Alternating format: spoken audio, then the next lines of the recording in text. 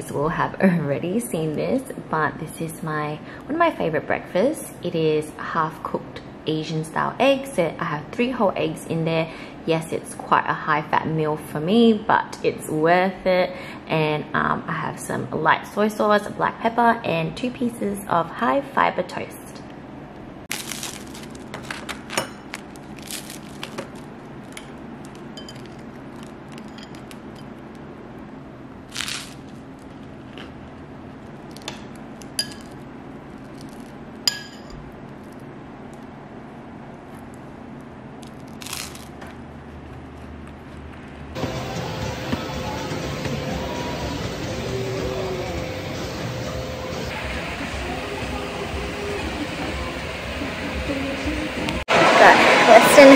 10 minutes to go but let me tell you guys a little tip to get through cardio quicker and this is literally really helping me. I used to watch YouTube videos, I've been watching TikToks and for some reason that makes the time go so fast and you're like grabbing onto your phone and you're like scrolling so you're not really like holding on to the machine or whatnot.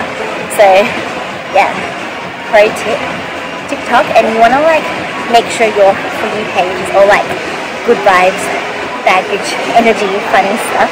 It just is the only thing that gets me so just kind of caught up in it just because it's so short and so like each clip is so stimulating that actually like don't really realize the time and like start laughing in between which sounds crazy but keeps the mood up, you know?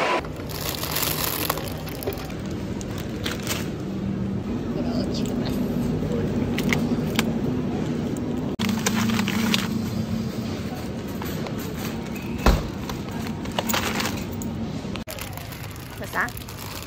lentil bites. Three grams of fat, one grams of carb, But how much fat in it? two grams. Oh, that's pretty good. Mini rice cake. I love rice cake. It's chicken flavor. Or bouncing burger. I think that's like burger ring flavor. Three grams fat. 12 Let's try this carb. one. Oh, we can just get right. This is getting old, though, fuck it. Mini rice cakes.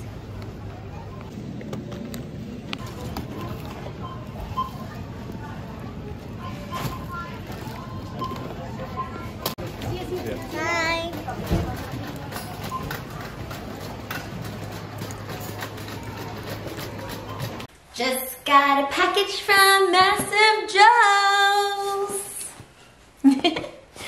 See what we got in here. So, the first thing I got, you already know I'm a pre-workout junkie. So, the first thing I got is a new pre-workout, only because I just finished my old one. So this is the new one that I got as Grace Legend. This is the second time they came out with this formula. So this is actually a version two. They had a previous one before, which I really liked, and this is their second version, and I got the flavor Red Frog. So I'm really excited to try it. I had like a similar kind of red red frog, red skins flavor in the disorder pre-workout. So I'm really excited to try this one and compare and see how it tastes like. The other time I had gross, I, I had like the warhead sour watermelon flavor. So I'm really excited to try this one. It has 4,000 megs of citrulline. So citrulline is really good for those pumps. Um, there's beta alanine, which is pretty much a lactic acid uh, buffer. So it makes that kind of burny feeling come a little bit later so you don't kind of like burn out too early. So it actually helps you with endurance and stuff like that. Um, so much other good things um, with beta alanine.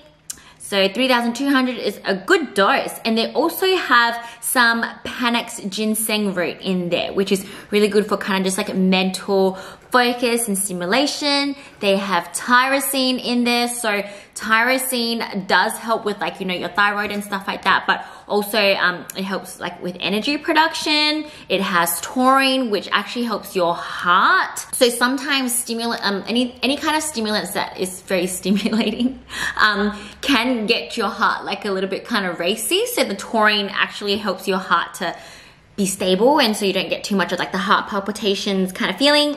It has alpha GPC, which is actually very good for cognitive function. It helps your brain not be foggy. It helps you to kind of just like concentrate on things better. We actually have the tablets that we sometimes take but we forget to take. So it's really good that it's already in here. So that's awesome. Um, there's also caffeine, 250 megs of caffeine, but it's natural caffeine from coffea bean or whatever that is. But um, anyways, that is uh, natural caffeine source. So it'll be interesting to see because I normally have um, caffeine anhydrous, which is like the lab form of caffeine. So the slightly non-natural version of caffeine is what I normally have. So it'll be cool to see this natural version of caffeine just to see um, how I feel on it. I'm really excited to have this. I think a serving is two scoops. So I will be going ahead and having two scoops of this tomorrow. Super excited to try this tomorrow. Next thing that I got is Stars and Pipe by Mecha Labs. This is a pump powder. So sometimes if I don't want too much stim, I will only do uh, like half a serving of pre-workout, so maybe just one scoop.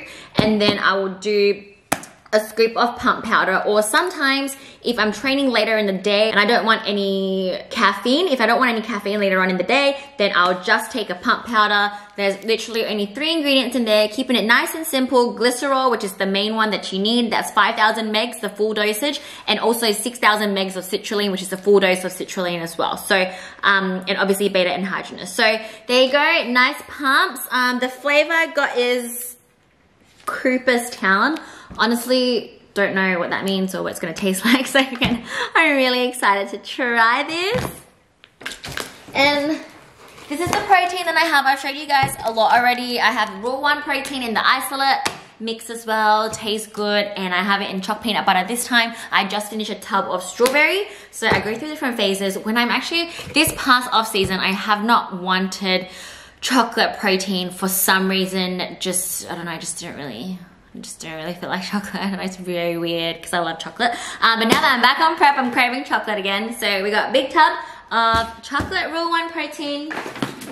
And then we got a free shaker. Use my code Nicole10. You'll get a free gift firstly. And then if you spend above $100, you get free shipping. So obviously I got free shipping. And then I also spent above $150. So we got another free shaker. So we go. Nice, cute. Um, golden shaker. Jeremy's gonna love this. And um, these are the extra free gifts that you get like with my code this month. So you get like a little funnel thing. So if you have like a bottle and you wanna like put this into there, you can like kind of funnel it, it in. Hearing says crush it and another um, lanyard thing from Core Nutritionals saying crush it as well. It is now Sunday the 27th of June and we are officially 14 weeks and five days out. I'm getting pretty excited, but COVID's still kind of lingering around. We just got like one local case or something, so we have to start wearing masks for the next three days. But I think that's not too bad. So fingers crossed everything still stays okay. We nip this in the butt and everything will still be good to go. But regardless, I have my home gym to train at. So as long as we're still good in 14 weeks, that is the most important thing. But I thought I'd give you guys a little bit of a prep update. So I actually got my period like four days ago. So that was the reason for my weight spike, which I, I don't know why I didn't think about it. When I had the weight spike, I just assumed that, oh, you know, it's just normal for my body to be like that. But I didn't think to check to see, oh, is my period coming? I just didn't think about it. And then like it came and I was like, okay, that makes sense why I gained weight two days ago. So since my weight spike, um, it came back down a little bit during my period and then it kind of stabilized. It was literally exactly the same for the first three days. Um, the fourth day, it did drop a little bit and then we did a calorie drop, which was, which was yesterday. So yesterday, um, checked in with coach. He's actually really happy about where I'm currently at. He says we're definitely a little bit of ahead of schedule. I don't think so. I think we're just okay. Like I wouldn't say we're ahead, um, but it is obviously comforting for for me to know that he does think so. So I guess we are a tiny bit ahead, but to just keep things going along because things have been kind of at a standstill. So this week I would say is a week of no progress. Um, personally, that's how I feel, but it's totally fine for that to happen. Obviously, my first week of prep was quite fast, so it's normal to have, you know, some good weeks and then some slow, slower weeks and even some weeks going backwards a little bit. That has happened to me before. Um, I'm just here to share my experiences with you guys and let you guys know that it's okay to not make progress every week. That's why we have long preps. So that's why I love prepping for a long time. I love prepping my clients for a long time, just so we have the time to kind of play around with and we won't freak out when we have the slower weeks or the weeks of no progress because it does happen we sometimes can take a tiny step back and then take two steps forwards like the very, very next day. So, and I know my body's really prone to that. It's pretty crazy, like I said. So not too worried about that. Haven't had a high carb day so far and I'm totally fine with that as well. But coach has scheduled one for next Wednesday and he wants me to have one weekly from that week going forward. I don't know how I feel about that. but he reckons that will um, keep things from going too fast, which, you know, blows my mind because I'm like, why would we not want to go faster? But, you know, it's it's, it's all part of it. Obviously, you want to come in on time, the right amount of conditioning for each show. Um, I do have two shows to do, and the next one is four weeks after the first one. So I kind of have about nearly 18 to 19 weeks to the last one. So I kind of have to pace myself. I am someone that is one of the smaller competitors, so I want to retain size. I want to make sure I'm still growing through this prep. So the refeeds will definitely allow me to do that. So I'm obviously going to listen to orders. I'm going to be doing my high carb day whenever I need to. So for now, no high carb day until next week. I'll probably do it around midweek, like a Wednesday or Thursday. We'll see. I'll probably do it on like a really difficult leg day. So maybe Friday then because that's when I do my leg day. So we'll see how I go. I'm starting to feel a little bit depleted already since the carb drop yesterday, but I didn't lose weight. So after the macro cut yesterday, I was super happy to get a macro cut. I don't know why, I'm a bit crazy these days. So I'm just like a sucker for this suffering because I know what the suffering entails. I, I know the end product, I know the end goal, I see it in sight, and I know like the hell you need to go through to get there. It's like when you're fighting a war and like you know that all that is necessary for you to win at the end, you know? So regardless. Um, I'm having a really good mindset about it these days. It may change, may not change, but I'm feeling pretty good about everything. Um, the suffering and whatnot, the hunger, bring it, the tiredness, bring it. Just feeling like I'm dying at the gym, bring it. There's a lot of days where I didn't feel like doing my HIIT, but I did it anyways. And all that has been feeling pretty good. So I am suffering a little bit and I'm okay with that is exactly where I'm at right now. So that's that. But yeah, after um, the drop, I expected, and I did HIIT that day as well. So I got my calories cut. I did HIIT. I was really compliant that day. It was a great day. And today I gained weight. So that's, you know, shit like that happens, you know. Usually when I first get a decrease, my body somehow like punishes me by making me hold on to fat or something. I do not know why it does that, but it, it does. It's part of it. I'm hoping that tomorrow we'll have a nice drop, but today was a rest day, so I didn't train, um, but I got my steps in. I worked a lot. Um, I did do a little bit of vacuum practice this morning, a little bit of stretching. I used my massage gun, trying to focus on recovery when I'm having my rest days, but I, I'm just been really, really busy with work. So um, usually when I don't train, I have less calories to eat. And I'm feeling okay because I've just been so busy. When I'm just like really, really busy, I don't have time to really think about food and I don't really think about it too much and um, it doesn't really it doesn't really bother me honestly when I'm too busy these days. So um, I've been dealing with the hunger today totally fine. And it's also my dad's birthday so we're going out for dinner tonight. I'm just gonna be there to pay the bill. And I think I'll be ordering a Thai beef salad. I've calculated uh, rough calories for it um, into my MyFitnessPal so I think this is the only exception I will be making in terms of um, trying to estimate a meal out. Um, otherwise, during prep, I normally like to be super, super accurate. I always bring my own food. I just don't trust the people who who cook it. Um, but for today, since we we still have some time, we're on, we're on track, I'm going to estimate this meal out. I am going to overestimate as well. So I'm feeling I'll be pretty safe. If anything, I'll end up under eating rather than overeating. So it's not the worst thing in the world. Again, I do not recommend, but um, gotta do what needs to be done. So I'm gonna be having a nice dinner with my family to celebrate my dad's birthday with mask on in a few hours. And just thought I'd just quickly check in with you guys. So yep, that's where I'm at. And oh yes, a lot of you have um, noticed that I broke my nails in the last video. They're all fixed now. So my nails are all fixed and pretty again.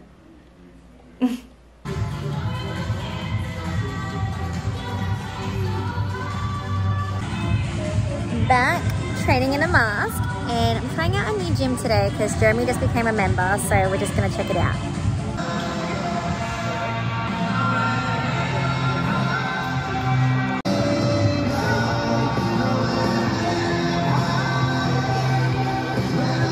home now from training shoulders and then I also got some HIIT done and did a little bit of steps when I was doing some grocery shopping. So I'm just gonna do some meal prep now. I'm gonna be prepping some sweet potato and some rice and I think I'll also do some chicken and pork. So I'll just show you guys how I prep all that up and then that will be ready to go for the next few days. I'm gonna have a pretty busy week. So today is Monday which is like my only day off. I work from Tuesdays all the way through to Sundays. So Mondays I like to get things organized to pretty much make sure that my week is as easy to get through as possible um, so I like to definitely always smash out a weight training session and cardio as well because sometimes it gets a bit hard to fit everything in.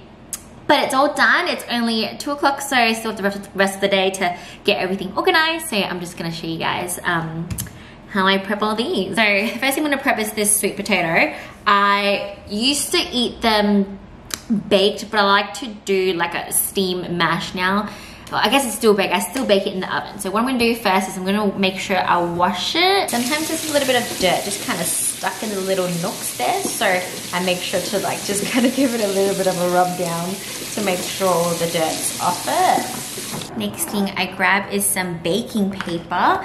Um, also, if it's quite a big one, I like to cut, cut it in half as well. So I'll bake the two halves separately so it just bakes faster. And then I'll just cut the ends off as well.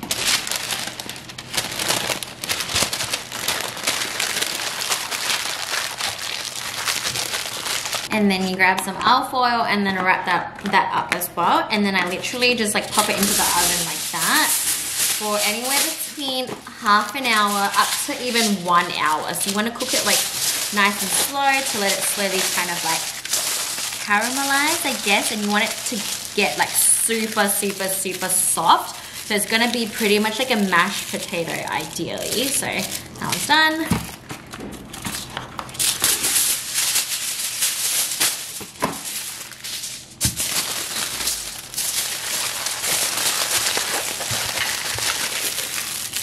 And that one's done as well. So I'm gonna go ahead and pop these in the oven. So next I got these again. You know I love these, the pre-marinated chicken kebab sticks. So I try not to have too much of these because obviously they're a little bit high in fat. Um, but as long as I have enough fat macros, I'll still have them. So these I'm just gonna pop in the oven. They're already marinated, so that's good. And then I have some lean chicken breasts that I've already cut up. So I like to buy them bulk and then I just prepare uh, like a batch at a time. So I, I put the rest in the freezer to kind of keep fresh. And this is what I'm gonna cook up right now. And obviously my rice is here washing. So I'm gonna wash the rice, get that put on, pop that into the griller and then pan cook that. And then, you know, it's time for me to clean the kitchen and we'll just have to wait for everything to be done. And it's all done. I showered and everything and then everything was ready. So took it all out, put it into containers. So I have my two carb sauces here. So this is how the potato turns out after. I just kind of smash it up a little bit. I would have actually liked it a little bit softer. I've cooked it for nearly an hour, but maybe I should have left it in a bit, a bit longer. The rice is nice and fluffy, the chicken kebab sticks, and then that's just my regular old chicken breast there. So two protein sources, two carb sources, and you already know my veggies, I have them frozen at the moment. So these will last me probably about two to three days because Jeremy eats them as well.